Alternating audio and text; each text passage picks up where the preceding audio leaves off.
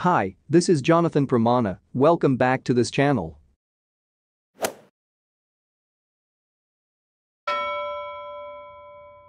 Korean drama moving get a big attention from all the viewers all around the world.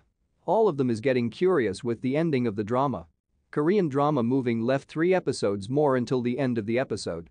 Well even though this drama is actually based on the webtoon with the same title, but the ending of the drama could be different or maybe same like in the webtoon. But how it will be end? The first thing that has come to our head when talking about the ending of the drama moving is how Kim Bong-seok and Jung Hee-soo relationship will end up. What has actually happened to Kim Doo-shik and where is him all this time? Will Kim Doo-shik back at the very the end of the episode? Well we will discuss and tell you about my prediction for the ending of drama moving.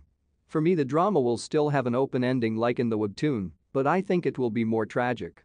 Since the hype of the drama is really crazy, I am not sure if they will end this drama with happy ending story. This drama will end up with open ending, so it will be a big chance for the season 2 of this drama. Kim Doo-shik might be not appear until the end, but there will be a sign that he will back home, and this will be leading drama to be the season 2. We not sure yet what happened to him. Kim Bong-seok and Jung Hee-soo is not gonna be together and never meet up again since the fight. So mostly the drama will end up like in the webtoon. What do you think? Do you have a theory and opinion about this? Don't forget to write your theory and opinion in the comments column.